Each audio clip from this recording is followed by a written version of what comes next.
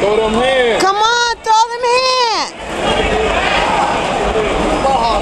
Why is he? He be trying to fight like Ali. That's why. He be watching that Ali shit.